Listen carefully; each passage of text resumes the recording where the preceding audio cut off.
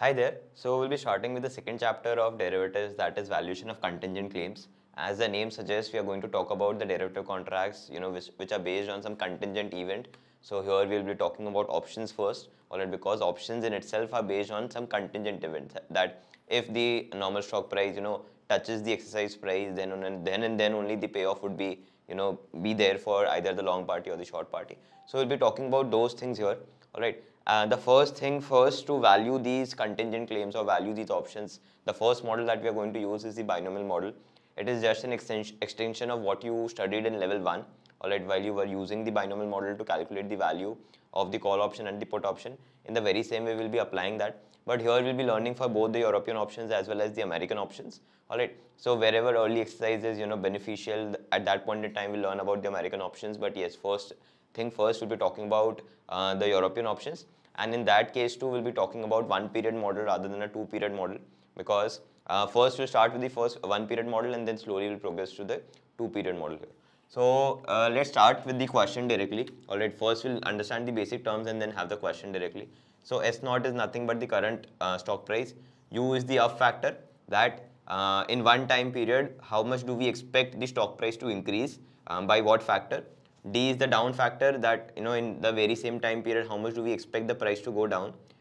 Pi u is the probability of the up factor or probability of the stock going up.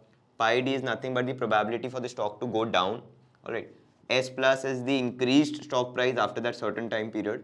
S minus is the decreased stock price after the certain time period. And RF is nothing but the risk-free rate. Alright. The pi u and pi d that we are going to use here are nothing but the risk neutral probabilities for the stock to go up and down. Alright uh, u which is the up factor is calculated or is ha or has a relationship with the down factor as follows. U is equal to 1 upon d or we can take the d here or and the u here so we'll get the formula for the down factor that is d is equal to 1 upon u. All right. Uh, there is definitely a relationship between pi u and pi d that is nothing but the sum is equal to 1 all right so the formula for the same thing is given as follows. Pi u plus pi d is equal to 1 uh, next thing, uh, next thing that we need to understand is how do we calculate pi u. So pi u is calculated using this formula 1 plus rf minus d upon u minus d. Alright, 1 plus the risk-free rate minus d that is the down factor divided by up factor minus down factor. Once we have pi u, alright, once we have pi u, uh, then we can calculate pi d. Pi d is calculated as 1 minus pi u. Alright, so that is how this thing works out. I'll be taking an example here and we'll understand how exactly to calculate the value of a call option and a put option. Alright, so the example goes as follows. We have a strike price at $30. We have a stock price at $30. The risk-free rate is 7%. The up factor is 1.33. This up factor is for one year time period. Alright, that, the, that we're expecting the stock to go up by 1.33 times in one year time period. Alright, and right now we'll be working on European options and then later on we'll be working on American options. So uh, right now the current stock price is uh, $30. At time period 1, we expect the stock to go up by 1.33 times. So we can multiply 30 into 1.33 to figure out the price here. So that would be 30 multiplied by 1.33, approximately $40. And likewise, we can see how much the uh, stock will go down for that, we need the down factor. So the down factor is calculated as d is equal to 1 upon u. That is nothing but 1 upon 1.33. That is 0.75. So 30 multiplied by 0.75 will get the price of the stock here. That is 22.5. Alright, so we have the price uh, in the upper side and as well as the lower side. Now we need to figure out what exactly will be the value of the call option. Alright, first thing first I'll be working on the call option and then I'll be working on the put option.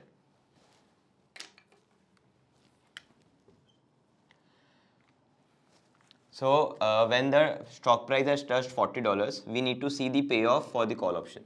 So the exercise price that we have is $30. The current stock price is $40. So $40 minus $30, it is nothing but $10. Alright, that would have been the payoff for the long call party, alright, the person who has the right to buy.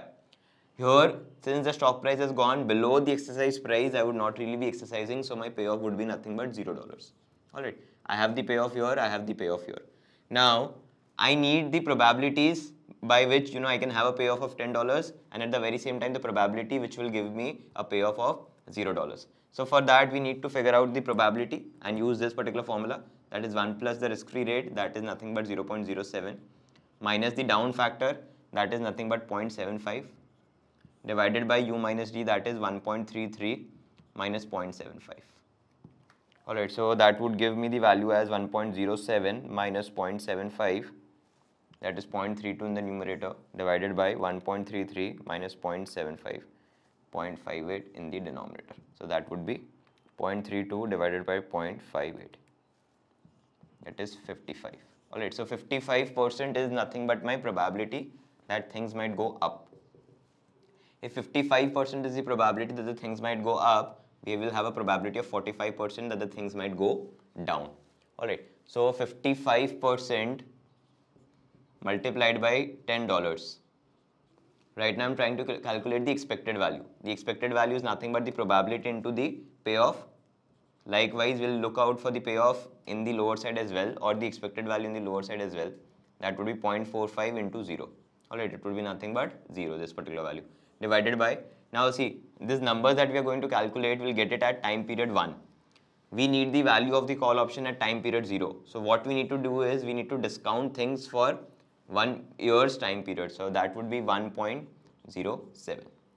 So 0.55 into $10 that would be 5.5 plus 0 so nothing here uh, divided by 1.07 so you'll finally get the value as 5.14 so according to the binomial model if we are looking out for a call option uh, on a particular stock which is trading at a which which is trading at thirty dollars currently and has a strike price of thirty dollars.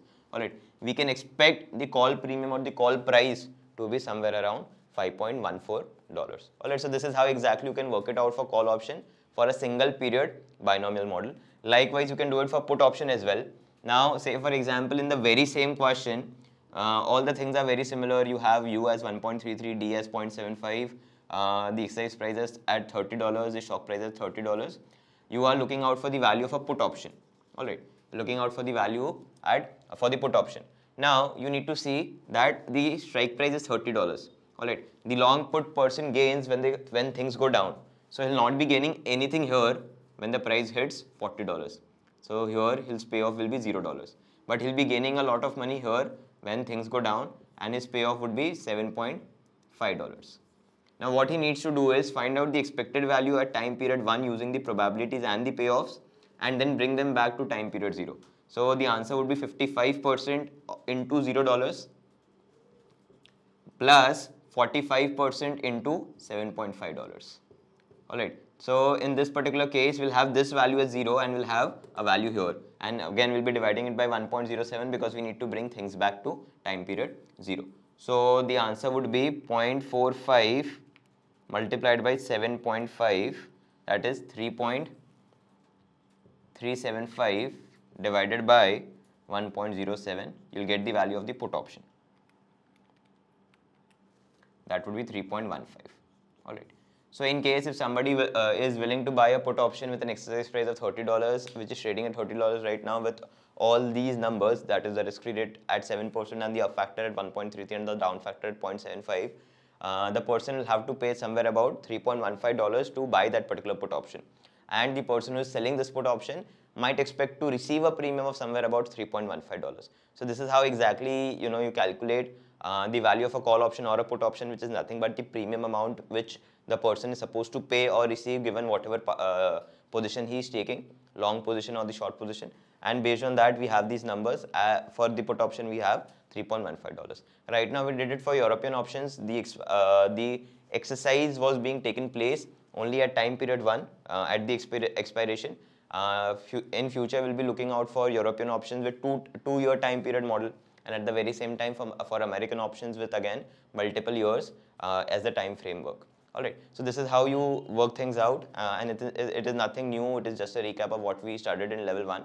So that is why I went a little fast. I hope you must have understood it. In case if you did not, uh, feel free to book office hours uh, so that we can interact upon the same. Thank you.